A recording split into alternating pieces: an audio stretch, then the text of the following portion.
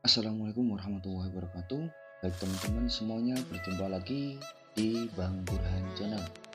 Baik teman-teman bagi yang baru menemukan channel ini Mohon dukungannya untuk klik subscribe Semoga menjadi ajar teman-teman semuanya.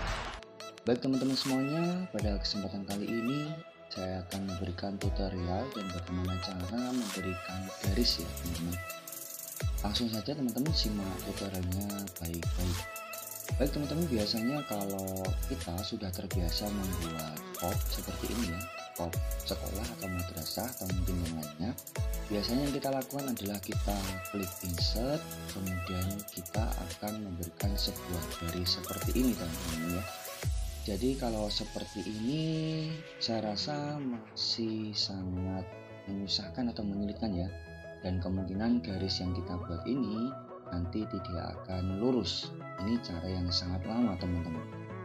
Jadi ini cara yang terdahulu ya saya akan memberikan empat cara bagaimana cara memberikan atau membuat sebuah garis seperti ini.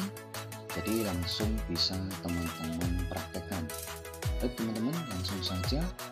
Nah caranya yang pertama adalah kita buat strip ya. Strip ya teman-teman.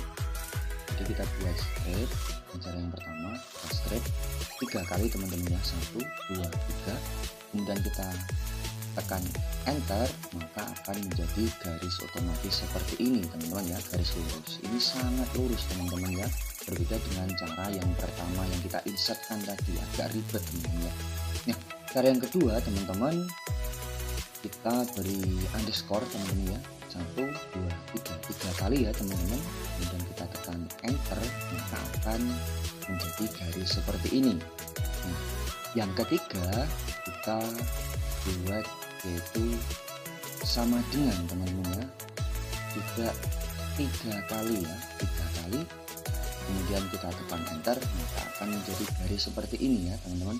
Dan yang keempat yaitu kita buat pagar teman-teman ya.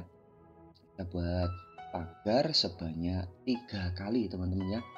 Lalu kemudian kita tekan enter maka akan jadi garis seperti ini. Saya rasa ini sangat mudah dan sangat cepat teman-teman ya ketimbang kita tadi caranya kita insertkan dengan garis.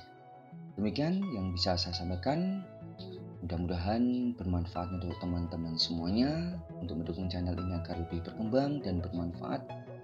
Mohon klik subscribe semoga menjadi amal jariah untuk teman-teman semuanya. Sampai jumpa lagi di tutorial tutorial selanjutnya. Saya akhiri. Assalamualaikum warahmatullahi wabarakatuh